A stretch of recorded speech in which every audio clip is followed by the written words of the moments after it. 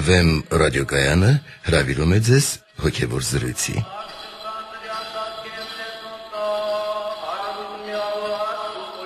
Վեմ ռադիոկայանի տաղավարում հոգեշնոր Տեր Շահե Վարդապետ Անանյանը եւ լրագրող Արաքս Պողոսյանն են։ Աստված օգնական հայր սուր։ Աստված պահապան։ Հոգևոր զրույցներ շարքից սկսում ենք 5 կտակարանյան քննարկումներ Տեր Շահե Վարդապետ Անանյանի հետ։ Այսօր այդ շարքից առաջին հաղորդումն է։ Թեման վերնագրել ենք Աստված եւ մարդ հարաբերությունը դրախտում։ Հայր Սուրբ, Աստված ինչու արարչության վերջին օրը ստեղծեց մարդուն։ Տանրապես, երբ ընթերցում ենք 5 տակարանը, մասնավորապես առաջին էջերը, ծննդոց գիրք եւ մասնավորապես առաջին 3 գլուխները, որոնք վերնագրված են արարչության պոեմ կամ արարչության հատված կամ արարչության օրհներգություն, ինչպես ժամանակակից որոշ մեկնիչներ ասում են, նկատելի է, որ որոշակի տրամաբանություն կա։ Այսինքն Աստված միշտ վերջին պահերին ստեղծում է կամ վերջին պահերը թողնում է այն բացառիկ իրադարձություններին, որով կարծես թե փակվում կամ որով կարծես թե պսակվում է որևէ գործողություն։ Օրինակ, երբ մենք նայում ենք արարչության առաջին հատվածներին, երբ 7 օրերի ընթացքում Աստված արարում է, ստեղծում է, հեղինակն ասում է, որ Աստված 7-րդ օրը հանգստացավ։ Եվ բնականաբար տեսնում ենք, որ այս հանգստանալու մեջ որոշակի տրամաբանություն կա, որովհետև երբ ինչ որ բան իր ավարտին է հասնում Աստվածաշնչի տրամաբանության մեջ, բնականաբար այլևս այդ ավարտը, վերջը ոչ թե մի բան է, որ բացասական ազդեցություն է թողնում, այլ կատարելության է տանում։ Հիմա նույնն է տրամաբանությունը նաև ըստ Սուրբ գրքի մարդու ստեղծման պարագային, որովհետև Աստված ամեն բան ստեղծելուց հետո տեսավ, որ բարի է, կատարյալ է, բայց այդ կատարելության մեջ Աստված փորձեց թողնել իր կնիքը, վերջնական տեսքը, որ եղավ մարդը։ Եկեղեցու այրերը շատ հետաքրքիր կերպով են մեկնաբանում, անավանդ սեմական մտածողությունն է ծողի գեղեցական հայրերը, երբ ասում են, որ Աստված ստեղծեց ամեն բան, բայց այդ ամեն ինչ թողեց շղարշի տակ։ Եվ երբ Աստված կամեցավ վերջնականապես իր կնիքը թողնել արարչության վրա, բացեց այդ շղարշը եւ հայտնվեց տիեզերական գեղեցկությունը, կոսմոսը, որտեղ բառն ինքը կոսմոս նշանակում է գեղեցիկ, զարդ։ Եվ ահա ասում է այդ զարդի վրա իբրև պատվական մի քար դրեց իր պատկերը եւ իր նմանությունը, այսինքն մարդուն։ Հենց առաջին տողերից երբ մենք ընթերցում ենք, տեսնում ենք, որ մարդուն վերջին օրը ստեղծելը ոչ միայն ուներ նաև կատարելության հասցնելու տրամաբանություն Աստվածաշնչի մեջ, այլ մի շատ էական եւ կարեւոր առանձնահատկություն։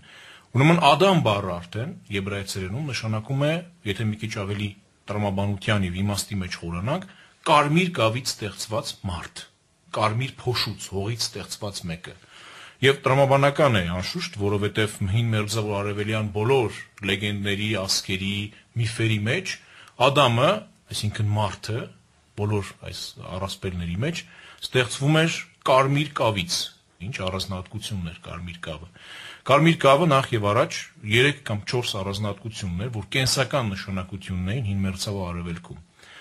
Նախ բժշկական նյութ իբրև, գիտենք այսօր ամենքս էլ, որ կարմիր կավը հակաբորբոքիչ հատկություն ունի եւ նաեւ արյունահոսությունը կտրող շատ կարեւոր միջոց է։ Սա շատ լավ գիտեին հին մերձավոր արևելքում եւ Հենց այս իմաստով կարմիր կավ ուղղակիորեն ասոցացվում էր արյան հետ։ Երկրորդ կարևոր բանը կարմիր կավից աղյուսներ էին պատրաստում եւ կարմիր կավը շատ էական կենցաղային նշանակություններ մարդկանց կյանքում եւ վերջապես երրորդ ամենակարևոր բանը կարմիր կավից պատրաստված զոհասեղանի վրա է որ մարդիկ աստվածներին մատուցում էին զոհեր ուրեմն պատահական չէ որ հենց այս Բարի մեջ արդեն Աստվածաշնչի հեղինակը կենտրոնացնում է հիմնական գաղափարը, այսինքն Աստված այն ամենից, ինչ անհրաժեշտ էր, ինչ կենսական կարևորագույն նշանակություն ունենալու էր մարդու համար, աշխարհի համար ընդհանրապես, դրանից առավ եւ ստեղծեց իր պատկերն ու նմանությունը մարդուն։ Հետևաբար այս վերջին հանգրվանը, վերջին ակորդը արարչագործության, ինչպես ասում են, Աստված դնում է այն կարևորագույն կետը, որի մեջ բյուրեղացած է ամբողջ առողջության օգտակարությունը։ Դուք խոսեցիք կատարելագործման գործոնի մասին, մարդու վերջին օրը արարելու, բայց արդյոք կա նաև մեկ այլ հանգամանք, քանի որ ամբողջ արարչությունը պետք է ծառայեր մարդուն,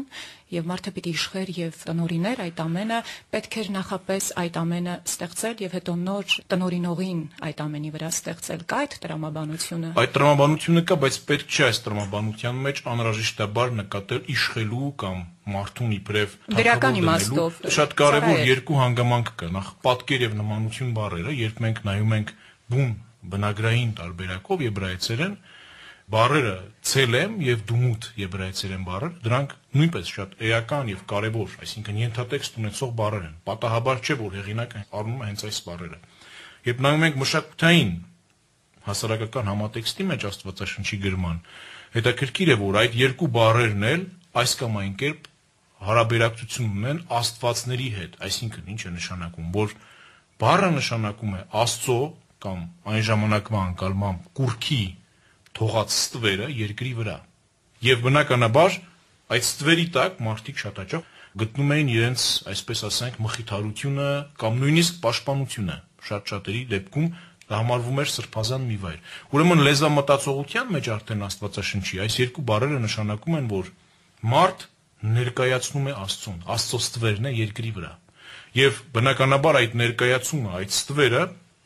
պետք է ունենա իր տրամաբանությունը եւ իշխելու եւ նաեւ ինչ որ իմաստով թակավոր լինելու բնության վրա մարդու համար նախ եւ առաջ պատասխանատվություն է Աստվածաշնչի տրամաբանության։ Եկեղեցական հայրերը այս պատկեր եւ նմանություն բառերի մեջ շատ հստակ զանազանություն են դնում, որովհետեւ մարդ երբեք չի կարող կորցնել Աստվածային պատկերը, որովհետեւ նա արդեն ծնվում է այդպիսին եւ իբրև Աստվածային հոգում իմաստիկի կրող նա անհրաժեշտաբար եւ առանց բացառության բոլոր մարդիկ ունեն Աստծո պատկերը։ Բայց այն նմանության պարագային մարդ կարող է կորցնել Աստվածային նմանությունը. Կյանքում գործած մեղքերի պատճառով, գայթակղությունների եւ չապաշխարելու դեպքում մարդ կարող է անհրաժեշտաբար կորցնել նմանությունը։ Հետևաբար այս մարդու իշխելու պարագան կամ տեր լինելու պարագան նախ եւ առաջ պատասխանատվություն է մարդու համար, որտեղ մարդ ներկայացնում է Աստծուն երկրի վրա։ Հետևաբար պետք է լինի այնպիսի մի թակավոր, այնպիսի մի իշխող, որ անհրաժեշտաբար նախ եւ առաջ գութ է տածում եւ բարություն է անում աշխարհի համար, ոչ թե սպառողի դերում է։ Հայր Սուրբ, արդյոք Աստված ինքնաբավ չէր, որ կարիքը զգաց մարդ հարարելու։ Շատ լավ հարց է գիտեք, որովհետեւ այս հարցը մանավանդ միջնադարում շատ-շատ փիլիսոփաներ տալիս էին, բայց այդ փիլիսոփաներից մեկը կաթոլիկ աստվածաբանության նաև այսպես ասենք հիմնադիր, եթե կարելի անվանել, Թովմա Ակվինացին շատ հետաքրքիր մի արտահայտություն ունի, Ասում եմ շատ հաճախ մարդիկ եւ փիլիսոփաներ ու մտածողներ գայթակղվում են այն մտքից, որ Աստված ինքնաբավ չէր, Աստված կարիք ուներ մեկ այլ արարչության ինքն իրեն դրսևորելու համար եւ ասում է Աստվածային սերն ու ողորմությունը շատ հաճախ այս մարդկանց համար դառնում են գայթակղության առիթ։ Այստեղ էլ նաեւ նույն պարագան է։ Մենք մեր շարականի մեջ մի հետաքրքիր տող ունենք սերտ ի սիրո սերտ առաքյաց։ Սերդ սիրուց մղված ուղարկեց իր սիրուն Այսինքն, եթե ավելի պատկերավոր ասենք, Աստված ուղղակիորեն, այսպես ասենք, դատապարտվելով իր սիրուց, իր անսահմանափակ սիրուց, ստեղծեց մեկ այլ երևույթ, աշխարհը, որ իր սիրո եւ իր գտածության արտահայտումն էր։ Այսինքն, այդ անսահմանափակությունը սիրո չէր կարող ճանաչել իր արտահայտումը չէր կարող ճանաչել մի երևույթ, որի վրա կտարածվեր այդ սերը։ Սա գիտեմ, անշուշտ շատ մտածող եւ անալիզ անող մարդկանց համար կարող է շատ անտրամաբանական թվալ, բայց նույն է պարագան նաեւ ցանկացած մարդու համար, որին բնորոշ են սիրելու եւ գուտ տանելու հատկությունները։ Այսինքն քրիստոնեությունն ինչ է ասում նաեւ այս պարագային, բոլոր այն մեծագույն սրբերը, հումանիստները, մարդասեր անznավորությունները, բոլորն էլ ունեցել են տարօրինակություններ ինչ իմաստով, որ շատ հաճախ նաև իրենց թշնամիներին, իրենց հալածողներին ներել են եւ շատ հաճախ նաև սիրո դրսեւորումներ են ունեցել այս մարդկանց հանդեպ։ Ուրեմն սիրո այս դրսևորումը ինքնաբավության հետ այնքանով կապ կարող է ունենալ, որ հենց աշխարհի արարումը Աստծո անսահմանափակ սիրո արտահայտումն էր։ Իսկ կարելի է նաև ասել, որ Աստված ուներ նաև փոխադարձության կարիք։ Աստված որևէ բանի կարիք չունի։ Ինքնաբավ է։ Ինքնաբավ է։ Աստված միայն կարող է ինքն իրեն սահմանափակել իր անսահմանափակ սիրով։ Մեզ համար լավագույն օրինակը այստեղ կարող է լինել մարդեղացման օրինակը, Հիսուս Քրիստոսի օրինակը։ Ինչու անչափ Աստված դարձավ չափավոր։ Որովհետև եթե Աստված չդառնար չափավոր, չէր կարող իր անսահմանափակ սերը դրսևորվել մարդկային սահմանափակ կյանքում, որովհետև մեզ համար անսահմանափակությունը կամ անչափությունը այնպիսի հասկացություններ են, որոնք մեզ անհրաժեշտաբար մահ են պատճառում։ Ինչ է ասում 5 տակարանը, ելից գիրքը մասնավորապես եւ թվոց գիրքը 32-րդ գլխում, ասում է, որ ոչ ոք չի կարող տեսնել Աստծուն եւ կենթանի մնալ։ Սա ուղղակիորեն վերաբերում է այն անսահմանափակությանը, որին մարդ չի կարող դեմ առ դեմ կանգնել։ Եվ հետեւաբար մարդուն անհրաժեշտաբար պետք է ինչ որ սահմանափակում, ինչ որ մարդկային արտահայտում, որ Աստված կարող է տալ եւ այս պարագային նույնպես Աստված, որ เป զի արտահայտի անսահմանափակ սերը մարդկության նկատմամբ եւ նախ եւ առաջ ինքն իր նկատմամբ, այսինքն Եթե կոպիտ ասենք, որ เป զի Աստված արդարացնի իր անսահմանապակությունը սիրո, անհրաժեշտություն կա, որ เป զի Աստված կարողանա դրսևորել այդ սերը տվյալ պարագայում առաջագործության նկատմամբ։ Ծննդոցում կարդում ենք. «Լավ չէ, որ մարդը միայնակ լինի, նրա նմանությամբ մի օգնական ստեղծենք նրա համար»։ Ադամը կատարյալ էր ստեղծված, ինչու անհրաժեշտ եղավ նրան օգնական ստեղծել եւ ինչ միայնակություն է ակնարկվում ծննդոցում, արդյոք միայնակությունը կատարյալ լինելու հակառակը չէ։ Եթե այս կատարելության մեր այսօրվա անկալումով նայենք Աստվածաշունչը, կտեսնենք, որ ծննդոց առաջին գլխի առաջին համարից մինչև 26-րդ, 27-րդ համար, որտեղ Աստված խոսում է արդեն մարդու աճելու բազմանալու մասին, կտեսնենք, որ այդ կատարելությունը մի փոքր այլ անկալում ունի ծննդոց գրքում։ Նախ իբրև Աստվածային ձեռքի անմիջական գործ, այո, Ադամը կատարյալ է, որևէ պակասություն չկա մարդու ստեղծագործության մեջ, բայց իբրև աստվածային ստեղծագործության շարունակականություն ապահովող մեկը Ադամը կարիք ունի ինչի կյանքի։ Եթե նայենք խորհրդանշական կերպով Ադամը մարդը կարիք ունի ինչի Եվայի կյանքի։ Այս երկու փոխլրացումները շատ հրաշալիորեն զուգորդվում են, երբ օրինակ ծննդոց երկրորդ գլխում Ադամը տեսնելով Եվային բացականչում է ինչ, որ ահա սա այժմ Ինչը ոսկորին ոսկորներից, մարմին իմ մարմնից։ Այս արտահայտությունը ուղղակիորեն նշանակում է, որ այժմ ես կկարողանամ Աստծո տված տնօրինությունը, Աստծո տված, այսպես ասենք, բացառիկ պատվերը իրականացնել երկրի վրա, այսինքն շարունակել կյանքը։ Եվ այս իմաստով անշուշտ Ադամը կարիք ունի կյանքի, շարունակականության։ Այդ կատարելությունը երկրի վրա կարիք ունի շարունակվելու։ Եվ այսօր էլ, եթե մենք նայենք մարդուն իբրև աստվածային արարչություն, հակառակ որ կա ադամական մեղք հասկացությունը, մարդ կատարյալ է։ Մարդ անհրաժեշտաբար կարող է եւ այսօր էլ հնարավորություն ունի աստվածանալու, Աստծուն նմանվելու։ Հետևաբար այս իմաստով մարդ կատարյալ է, բայց 5 կտակարանյան մանավանդ ծննդոց գրքի այս դրվագը մեզ տալիս է շատ լավ խորհրդածության նյութ նաև այսօր, որ Ադամը երբ ստեղծվեց, ուներ Աստծո պատկեր եւ նմանությունը, կատարյալ էր, մեղք չուներ, բայց կարիք ուներ ինչի կյանք շարունակելու այդ կատարելությունը աշխարի վրա շարունակելու Ադամ եւ Աստված այն է մարդ եւ Աստված հարաբերությունը արդյոք բավարար չէր որ կարիք զգացվեց կին ստեղծելու Նախ կնոջ ստեղծագործությունը բնականաբար որևէ կերպ չէր ազդում մարդ Աստված հարաբերության վրա ընդհակառակը ավելի զորացնում էր որովհետեւ երբ Աստված ինչպես մեզ պատմում է ծննդոց գիրքը առաջին եւ երկրորդ գլուխներում մանավանդ առաջին գլխի վերջին համարներում, երբ Աստված կենթանիներին բերում է Ադամի մոտ, Ադամը կատարյալ իմաստությունից դրտված եւ նաեւ իր կատարյալ իմաստության շնորհիվ անուններ է տալիս անասուններին, այսինքն անուն տալն այս պարագային ինչ որ իմաստով եբրայական մտածողության մեջ նաեւ ունի օրհնելու իմաստ։ Բայց երբ տեսնում է, որ այդ ամենից հետո, այդ բոլոր կենթանիներին ճանաչելուց եւ տեսնելուց հետո չկա իր նման մեկը, որի հետ ինքը կարողանա կիսել Աստծո տված անսահման ուրախություն, անսահման սերը, կատարելությունը, Ադամը տրտմում է։ Դա խորհրդանշական տեքստ է ինքը բնականաբար, որովհետև երբ մենք նայում ենք քրիստոնեական մոտեցումները, մեկնությունները այս տեքստի, շատ հստակ է, որ Ադամը կարիք ունի աստվածային կատարելության, աստվածային սիրո կիսելու, ինչպես որ Աստված կարիք ուներ ինձ անսահմանափակ սերը աշխարհի արարչությամբ կիսելու։ Այսինքն այս տրամաբանության մեջ է տեղավորվում եւ հետեւաբար Աստված դրա համար տեսնում է, որ Ադամը կարիք ունի մեկին, ում հետ նա կկարողանա կիսել Աստծո ներկայությունը։ Եվ գանք ամենաչարչրկված եւ տարածված հարցին, ինչու Եվային կողից Ադամի ստեղծեց Աստված։ Այո, ինձ բավական շատ են այս հարցը տալիս եւ ես երբեմն մտածում եմ, որ նույնպես սուբգրային լեզուն այսօրվա մեր ընկալմանը մի քիչ չի համապատասխանում ինչ իմաստով, որ սուրբ գրային լեզուն ավելի սուր եւ ավելի դիպուկ է գրված, քան մեր այսօրվա մտածողությունն է։ Ինչու։ Ուրեմն նայեք, երբ մենք դիտարկում ենք մարդու ֆիզիոլոգիան, անթրոպոլոգիական կառուցվածքի իմաստով,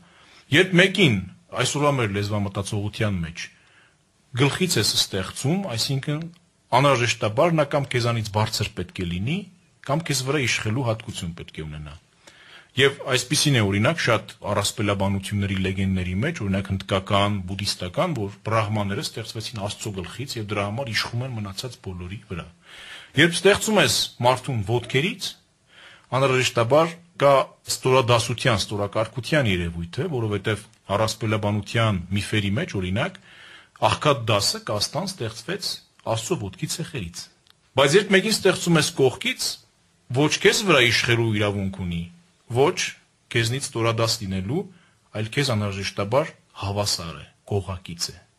Եվ Աստվածաշնչի տրամաբանությունը հենց սա է մեզ հուշում, որ երբ առնում է Ադամի կողոսկրերից մեկը եւ ստեղծում Եվային, ստեղծում է Ադամին հավասար մեկին, որովհետեւ չի կարող Աստվածային կատարելությունը, Աստծո ներկայությունը անհավասար, անհամաչափ կերպով կիսվել եւ բաժանվել երկու մարդկանց միջև։ Եվ դա Գրիգոր Տաթևացու մեկնությունն է, կարծեք թե, չէ՞։ Շատ հայրեր են այդպես մեկնում, բնականաբար, բայց Աստվածաշնչի տրամաբանությունն արդեն, երբ մենք ուրشادիր նայում ենք, հենց այդպես էլ մեզ հուշում է, որ Աստված ինչու կնեցրեց Ադամին,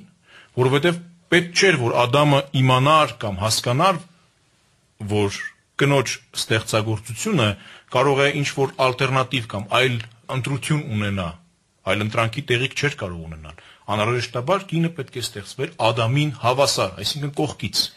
Իսկ այն, որ Ադամը անուն տվեց Եվա, կյանքանունը տվեց իր կնոջը, դա հիերարխիկ վիճակ ստեղծում է Ադամ եւ Եվա հարաբերություններում։ Ոչ, անշուշտ չի ստեղծում։ Հիերարխիկ վիճակը միայն այնքանով է ստեղծվում, որ կինը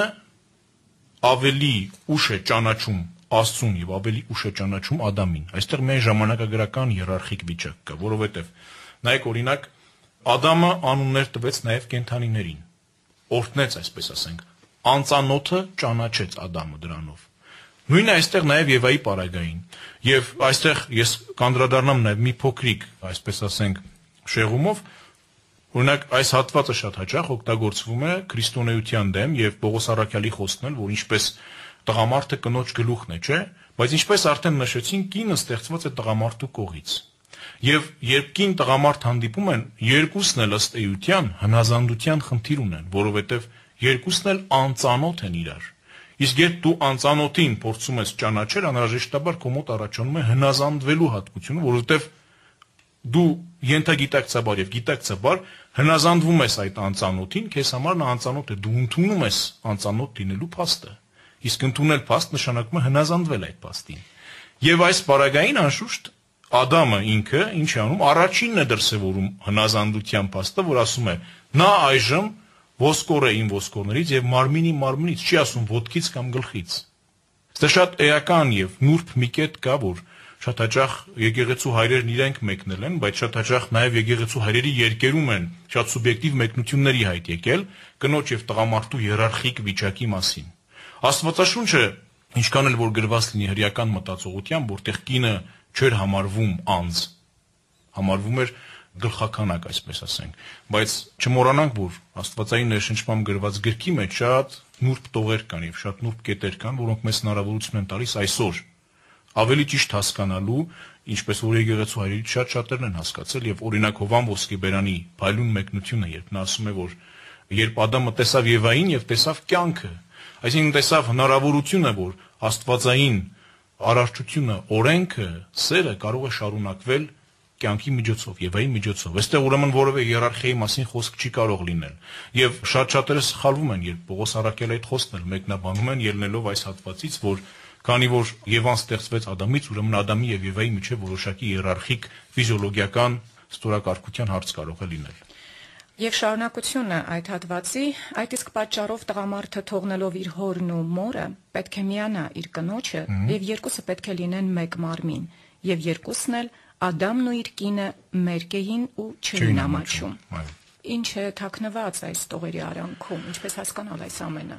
Բազում ձևեր կան հասկանալու, մեկնելու այս հատվածը անշուշտ, բայց մենք պետք է երկու հիմնական մոտեցումներով նայենք։ Նու նախ եւ առաջ բնականաբար Աստվածաշունչ գրողը նայում է իր ժամանակաշրջանի հորիզոնից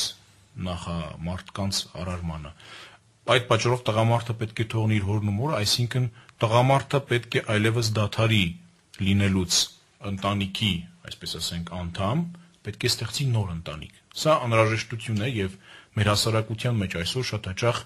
այս արտահայտությունը սխալ է ընկալվում եւ շատ մարդիկ մի տեսակ վրթովմունքով են ընդունում ինչպես կարող է որդին թողնել հորնմորը չապրել նրանց հետ, բայց սա աստվածային падգամն է, այսինքն յուրաքանչյուր մարդու, յուրաքանչյուր տղամարդու մասնավորապես իրավունք է տրվում եւ նաեւ պարտականություն է տրվում ունենալու իր ընտանիքը, ասուն նմանվելու կյանքը շարունակելու հնարավորությունը մեկ այլ մյուս անծանոթ էակի միջոցով, որ կինն է։ Եվ երկրորդ, որ մենք շատ հաճախ մոռանում ենք, մեր կլինելը ընդհանրապես Աստվածաշնչի մեջ օրինակ Սամոսած գրքում ինչ է ասում, չէ, ես աշխարհ եկա մերկ, մորս արգանդից մերկ ծնվեցի, այսինքն ես կարիք չունեի Աստծո առաջ ներկայանալիս ինչ որ զգեստներ, ծիսական պարագաներ կրելու։ Աստված ինձ ճանաչում էր մերկել, այսինքն առանց որևէ պարագայի, առանց որևէ, այսպես ասենք, ծիսական մակրագործման։ Նույնն է այստեղ նաև Ադամի եւ Եվայի պարագային։ Երբ բառը մենք դիտարկում ենք, օրինակ Եփրեմ ասորին, որ ինքը սեմական մտածողություն ունի, ասորերեն է գրում եւ եբրայցերեն տեքստն է կարդում, հետեւյալ կերպ է մեկնաբանում։ Ադամը եւ Եվան մերկ էին, նշանակում է, որ Ադամը եւ Եվան օտար միջամտության արտակին միջամտության, միջնորդության կարիք չունեին, որովհետև անմիջականորեն վայելում էին Աստծո ներկայությունը։ Եվ եթե ուշադիր լինենք, երրորդ գլխում, երբ Ադամը եւ Եվան արդեն մեղք են գործում, Աստված ինչ է անում։ Նրանց զգեստներ է հագցնում։ Կաշվե զգեստներ։ Հայրաբանական, խորհրդաբանական մեկնության, միստիկ մեկնության մեջ նշվում է, որ այդ կաշվե զգեստները այն զոհաբերությունն էին, որ Ադամը եւ Եվան արեցին իրենց մեղքը կավելու համար։ Այդ զոհաբերությունից համբած կաշիներն էին։ Այստեղ նույնպես մենք տեսնում ենք, որ Ադամը եւ Եվան իրենց մերկությունը ծածկելու համար կարիք ունեին ինչի? Միջամտության, միջամտությունը զոհաբերությունն էր։ Իսկ միջև մեղ գործելը որևէ զոհաբերության, զոհագործության կամ որևէ այլ արտաքին ծիսական միջամտության կարիք չկա։ Ֆիզիկական մերկության մասին կա խոսք։ Ես անձնապես չեմ կարծում, որ այստեղ ակնարկում է ֆիզիկական մերկությունը։ Հակառակ դեպքում կաշվեց գեսներ հագցնելը ինչպես է տակայում հասկանալ։ Կաշվեց գեսներ հագցնելը հենց այդ երևույթն է, որ դրանից հետո Ադամը եւ Եվան Աստծո առաջ ներկայանալիս միշտ կարիք ունեին ինչի արտաքին միջամտության, ծիսական մակրության, հատուկ զգեստներ հակնելու, ինչպես որ 5 կտակարանի մեջ հետագայում տեսնում ենք։ Աստված ինչ է պատվիրում հնգամատյանի մեջ, Ղևտացված գրքում, որևէ արու կամ որևէ քահանա առանց ներքին տաբատի թող չբարձրանա զոհասեղանի վրա։ Այսինքն մենք այստեղ տեսնում ենք, որ այդ մերկությունը ուղղակիորեն տղամարդու ներքին մերկությունը ծածկելու պարագային հատուկ հրահանգ է տրվում, որովհետև այլևս չկա այն բացառիկ հարաբերությունը հոգևոր իմաստով, որ Ադամն ու Եվան ունեին Աստծո հետ։ Դրախտում, որտեղ ամեն ինչ պիտանի էր մարդու համար, ինչու դրվեց մի ծառ, որի պտուղը մահացու էր կյանքի համար, եւ այն էլ այդքան ակնահաճո, ասվում է, որ կինը տեսավ, որ ծառի պտուղը լավ է ուտելու համար, ակնահաճո է եւ գրավիչ ըմբռնելու համար։ Այս գիտության կենաց ծառի բարագան շատ վիճահարույց է։ Օրինակ հրեական մտածողության մեջ հրեական մեկնիչները 5 կտակարանի սովորաբար իրենք երկու ծառ են առանձնացնում, այսինքն կար բարու եւ չարի գիտության ծառը եւ կար կյանքի ծառը։ Քրիստոնեական մեկնությունն էլ ինքը շատ հաճախ նույնացրել է այս երկու ծառերը իբրև մեկ ծառ եւ շատ հաճախ տարբերակել է գիտության, այսինքն չարը եւ բարին ճանաչելու ծառ եւ կյանքի ծառ, կենաց ծառ։ Հիմա երբ մենք անդրադառնում ենք այս երկու երևույթների, ըստ էության շատ տարբերություն չկա։ Այդ ծառը մեկն է թե երկուսն է, որովհետեւ 5 տակարանի մեջ մասնավորապես մենք տեսնում ենք, որ Աստված ամեն ինչ թույլատրեց, բայց չթույլատրեց մի բան. հարատևորեն մնալ կասկածանքի մեջ, չարին եւ բարին ճանաչելու հարատև կասկածանքի մեջ։ Շատ էական եւ կարեւոր է այս հանգամանքը, որովհետեւ երբ մենք դիտարկում ենք սա իբրև པարզ պատմական փաստ, մենք երբեք չենք կարող հասնել ճշմարտությանը, որովհետեւ այս цаրի երևույթն արդեն, պտուղի երևույթն արդեն ինքը խորհրդաբանական բովանդակություն ունի։ Մենք երբ դիտարկում ենք հետագայում, օրինակ Աբ รา համի պարագային, Հակոբի պարագային, Մովսեսի, Դավթի, Սողոմոնի մշտական այս կասկածը բարին եւ չարը ճանաչելու այս կասկածը, հարատեվությունը երբեք Աստծուն դուր չի գալիս։ Եվ Մովսեսն ինչու չի մտնում ավետյաց երկիր, որովհետեւ երբ թվոց գրքում Աստված նրան ասում է, որ խփիր քարին եւ ջուր դուրս կգա, Մովսեսը կասկածում է։ Այսինքն կասկածում է Եթե քարին զարկի գավազանով, անուշահամ ջուր դուրս կգա, թե աղիտ ջուր դուրս կգա։ Այսինքն բարին եւ չարը միշտ երկու հնարավորություններ են ալտերնատիվ, որոնք մարդուն կասկածի մեջ են դնում։ Սա առաջին կարևոր մոտեցումն է։ Ուրեմն Աստված մարդուն արգելեց կասկածել իր ներկայությամբ։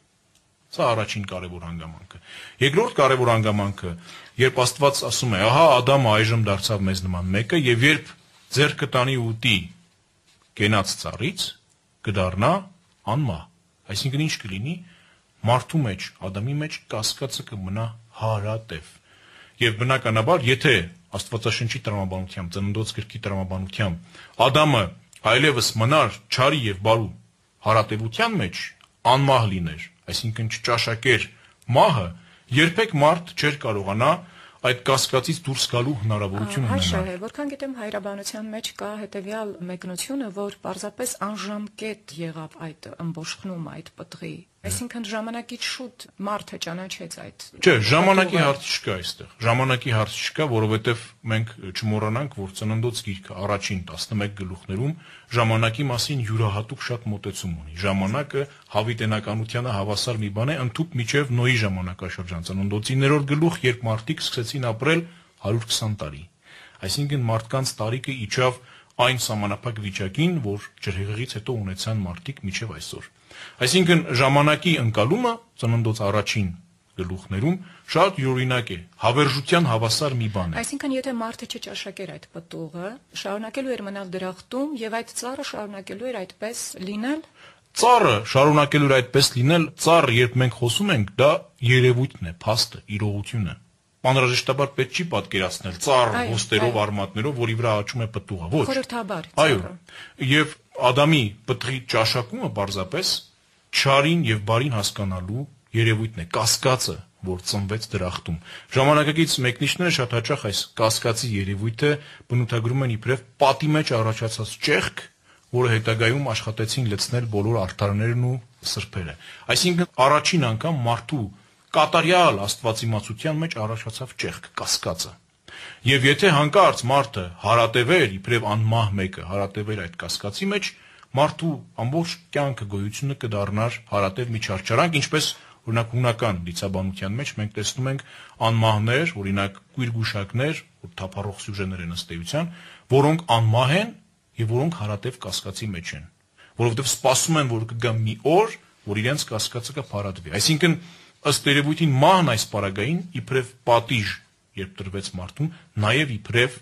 տրվեց մի երևույթ, տրվեց, այսպես չասենք շնոր, բայց տրվեց հնարավորություն, որ մարդը կարողանա մահվան ժամանակ ի վերջո հասկանալ, որ ինքը սահմանափակ է, իր կասկածներն ի վերջո սահման եւ վերջ են ունենալու։ Մարդը դրախտում անմահ էր ստեղծվել, երբ Աստված նախազգուշացրեց, որ այդ պտղի ճաշակումը մահ կարժենա մարդուն։ Մահ չի արժենա, մահով կմեռնի։ Մահով կմեռնի։ Անմահ մարդը, Ադամը եւ Եվան ինչպես կարող էին հասկանալ, թե դա ինչ է։ Մահով մեռնելը նախ անհրաժեշտաբար դեռևս չի նշանակում, որ Ադամը եւ Եվան կարիք ունեին հասկանալու կամ չհասկանալու։ Շատ հստակ է, որ մահով մեռնել նշանակում է չասենք անմահություն, որտեղ անմահությունն էլ մի փոքր այլ հասկացություն է սուրբ գրքում, կատարելությունը մարդու աստվածային ներկայությունը վայելելու կատարյալ վիճակը մարդու արժանանալու է սահմանափակման եւ երբ մենք երրորդ գլխում արդեն տեսնում ենք ծննդոց գրքի ինչ է տեղի ունենում երբ աստված մարդուն հանում է դրախտից սահմանափակվում է մարդն այլևս դրախտը կարող է տեսնել հերվից նա գիտի որ կա դրախտը նա գիտի որ դրախտում կա աստվածային կատարյալ իրանությունը բայց մարդը չի կարողանում հասնել դրան։ Այսինքն մահով մեռնելն այստեղ նշանակում է աստիճանական անկում։ Եթե մենք նայում ենք տրամաբանությունը 1-ից 11-րդ գլուխների, որ համարվում է համաշխարհային պատմության, այսպես ասենք, ծննդոց գրքի մեկնաբանությունը, աստիճանաբար մարդկային վիճակը Ադամից մինչև Նոյ անկում է սկսում ապրել։ 6-րդ գլխում ծննդոց գրքի մենք տեսնում ենք, որ այդ նույն վիճակը այսինքն Աստծո որդիները մարդկանց դուստերի հետ խառնելով հանգեցնում է այլևս մի կուլմինացիոն վիճակի, երբ աշխարհում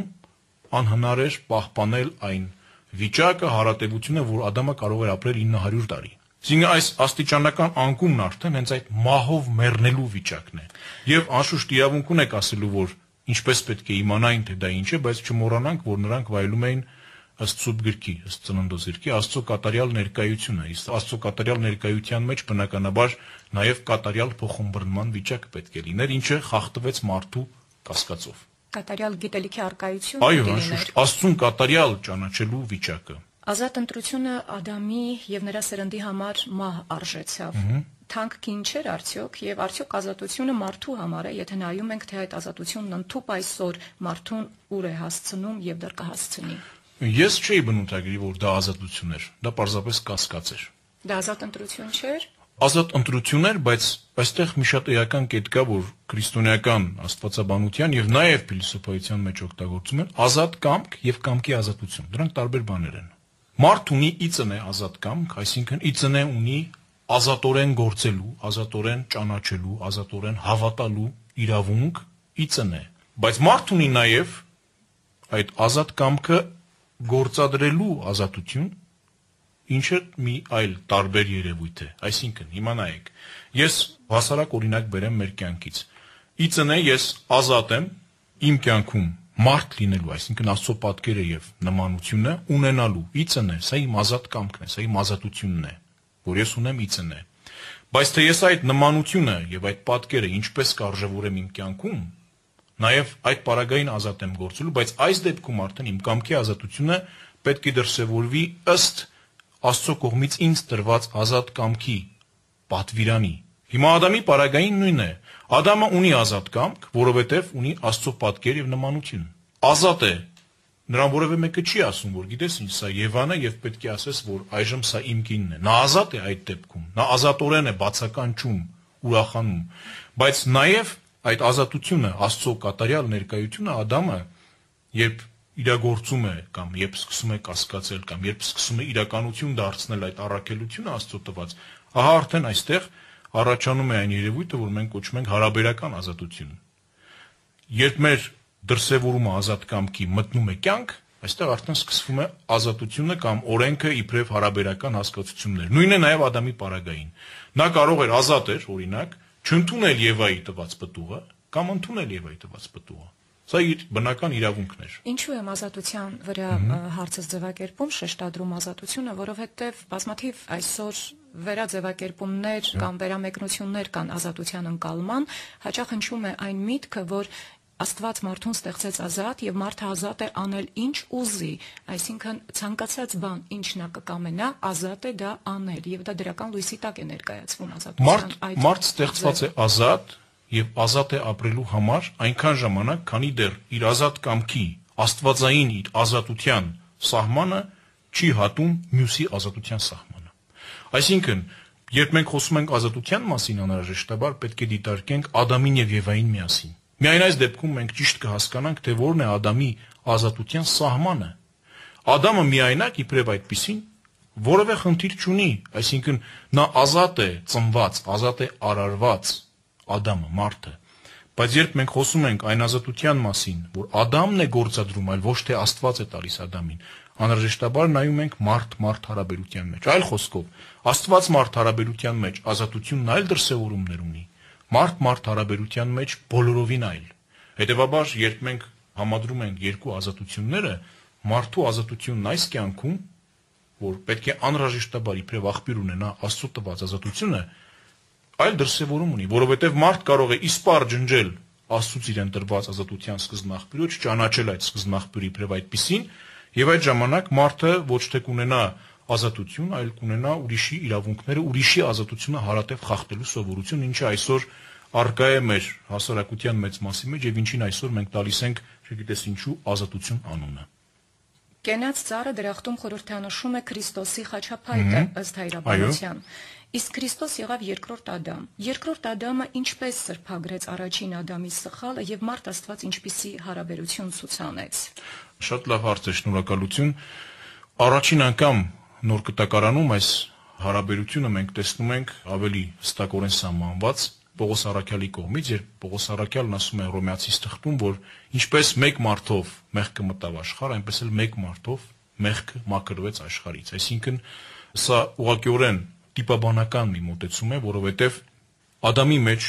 խորհրդաբանորեն հավաքված է ամբողջ մարդկային հասարակությունը, մարդը։ Որտեղ Ադամը նշանակում է մարդ։ Քրիստոսի մեջ նույնպես խորհրդաբանորեն Քրիստոս ինքը կրում է մարդկային բնությունը, այսինքն ամբողջ մարդկության մեղքերը, ամբողջ մարդկության հազարամյա գործած մեղքերը, սխալները Քրիստոս կրում է իր ուսերին, այս իմաստով նա նույնպես հավաքագրում է ամբողջ մարդկային բնությունը։ Եվ ուրեմն այս իմաստով նայեք Ադամը ճաշակում է ծառից, կասկածում է, այսինքն չարը եւ բարին, փորձում է հասկանալ, թե որը պետք է ընտրի, Քրիստոսի պարագային, երբ նա գալիս է աշխարհ, այլևս այստեղ խնդիր չկա ընտրելու, որտեղ նախ նա Աստված որդի է, Քրիստոս միանգամից գալիս է եւ ինչ է ասում արդեն Մատթեոսի ավետարանում, ապաշխարեցեք, որովհետեւ Աստծո արքայությունը մոտեցել է։ Քրիստոս, ինչպես է սրբագրում, այլևս չի տալիս այլ ընտրանք Քրիստոս։ Տալիս է միանգամից ճանապարհը ապաշխարեցեք, որովհետև Աստծո արքայությունը մոտեցել է։ Մենք այստեղ նույնպես տեսնում ենք, որ Քրիստոսի հիմնական, այսպես ասենք, ադամական մեղքի սրբագրումը առաջին իսկ բարերով Մատթեոսի ավետարանի 3-րդ գլխում ասվում է Աստծո արքայությունը արդեն եկել է ապաշխարեցեք։ Այս սրբագրումը ապաշխարանքի հենց այդ կասկածի վերացումն էր, որ մարդիկ պետք է վերացնեն իրենց կասկածը եւ պատահական չէ, որ հետագայում ավետարանի մեջ, երբ Քրիստոս լսում է Պետրոս Արաքյալի խոստովանությունը, աներկբա առանց կասկածի խոստովանություն, ասում է դու չէ որ ասեցիր, այլ իմ հայրը, երկնավոր հայրը քեզ նշնչեց, որ դու ասես։ Այսինքն, այստեղ արդեն վերջնականորեն մենք տեսնում ենք, որ սրբագրվում է կասկածը։ Քրիստոս մեզ այլ ընտրանքի հնարավորություն, կասկածի հնարավորություն չի տալիս։ Կա ճանապարհը, ինքը Քրիստոսն է ճանապարհը, Աստծո արքայությունը այնպես ինչպես երկրորդ Ադամով մարդը վերադարձվեց Կորուսյալ դրախտ, նույն տրամաբանությամբ նաև երկրորդ կնոջով Մարիամով այո, այո, Մարիամ Աստվածաշնչով Եվան վերականգնվեց։ Այո, որ շատ ավելի ուշ շրջանի մեկնաբանություն է անշուշտ, մենք Աստվածաշնչում նոր կտակարանում այդպիսի մեկնաբանության չենք հանդիպում։ Հայրերից առաջին անգամ Իրինեոս Լուկդոնացին է այդ մեկնությունը տալիս, երբ բազմաթիվ պարականոն ավետարաններ եւ զրույցներ էին պատտվում, որոնցից մեկի մեջ, օրինակ Հակոբոս Տիառնեղբոր անունով մեզ ասած նախաավետարանի մեջ ասում է, որ այն գիշերը, երբ մոգերը երկան երկրպագության եւ Բեթխեհեմյան աստղը փայլում էր, հովիվները ճանապարհին տեսան մի կնոջ, որ հևասպար վազում էր դեպի մսուրը եւ հարցրեցին թե ով է նա, եւ նա պատասխանեց, որ ես կինն եմ մեծատարով, այսինքն Եվան։ Եվ աստորեն Եվան լսել էր, իմացել էր, որ ծնվել է հրաշամանուկը, ծնվել է Քրիստոս եւ գնում էր աստորեն այդ ավետումը բերկրանքը զգալու, որտեղ այլևս քավել էր իր մեղքը կնոջ միջոցով, Աստվածածնի միջոցով։ Եվ Իրինեոս Լուկդոնացին բնականաբար հենց փորձում է այս մի տեսակ առասպելախառն զրույցներին տալ կանոնական ձև եւ աստվածաբանական մոտեցումով նշում է, որ առաջին մարդով, Ադամով մեղքը մտավ, երկրորդ մարդով Քրիստոսով քավվեց եւ ինչպես կնոջով, առաջին կնոջով Եվայով նույնպես մեղքը մուտք գործեց աշխարհ, երկրորդ կնոջով Սուրբ Աստվածածնով մեղքը մաքրագործվեց։ Այս զուգահեռները, որ արդեն վերջնականապես քրիստոնեական իրականության մեջ մտել էին երկրորդ դարի վերջին, միջև այսօր էլ բնականաբար մեր հավատքի փորձառության մեջ կարևորագույն տեղ ունեն, որովհետև անբաժանելիորեն այդ մարդկային զույգին մի տեսակ դնում են այն ներկայիս քրիստոնեական բարոյականության լույսի ներքո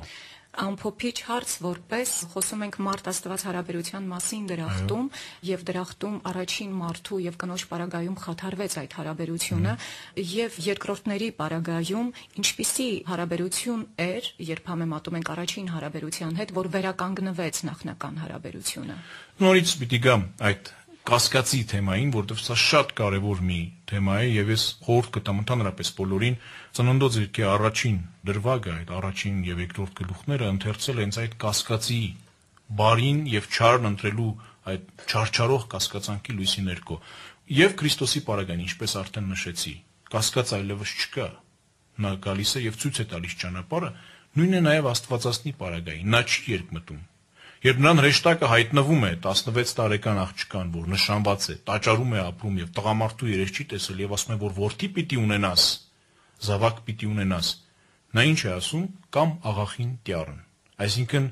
ինչպես դու ասում ես, այդպես թող լինի, չնայած որ հարցնում է, ես տղամարդու երես չեմ տեսել, այսինքն ես մեղք չեմ գործել, ինչու է Աստված ինձ կարծես ուզում հանդիմանել եւ Աստված ասում է, որ քեզնից հղացվածը սուրբ հոգուց է Եվ նա ընդունում է Աստծո կամքը։ Այսինքն այստեղ նույնպես երկմտանքի եւ կասկածի տեղիք չկա, այն աներկբա հավատն է, համոզումն է, որ Աստված լիակատար կերպով ներկա է աշխարհում։ Այսինքն այս երկու պարագաներում էլ այս երկու դեպքերում էլ մի տեսակ սրբագրվում է օցի խապեբայի կամ ինչպես Հովանես Ավետարանիչն է ասում, ստի հոր այն հարցադրումը, որ Աստված արդյոք ասաց, որ դուք բոլոր ծառերից կարող եք ուտել կամ չուտել, բայց այս ծառից չուտել, չէ՞ որ եթե այս ծառից ուտեք կդառնաք իր նման եւ արդեն այստեղ մենք հստակորեն ծննդոց գրքի հեղինակի կողմից մտնում ենք մի աշխարհ, որ կոչվում է կասկածի աշխարհ, այլընտրանքի աշխարհ։ Եվ այսօրվա մեր ամբողջ, ինչպես դուք նշեցիք, արդեն ազատության բարոյականությունը հիմնված է հենց այս ալտերնատիվի։ Ինչքան շատ ալտերնատիվ, ինչքան շատ այլընտրանք, այնքան շատ կասկած, այնքան շատ երկմտելու տեղիք մանավանդ քրիստոնեական բարոյականության մեջ։ Շնորհակալություն զրույցի համար։ Հիշեցնեմ, որ Վեմ ռադիոկայանի տաղավարում հյուրընկալել էինք հոգեշնորհ Տեր Շահե Վարդապետ Անանյանին։ Աստված օգնական հայ Սուրբ։